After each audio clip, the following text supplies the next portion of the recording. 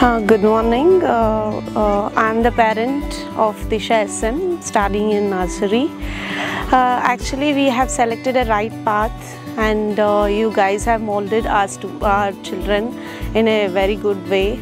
We were re- really uh, thinking a lot like this is the first uh, step you have taken, and the new school, how will be the environment. Now we are feeling very happy and excited, and uh, you are molding the students in a great way, uh, in innovative. Uh, what this generation is required. We are really happy as a parents.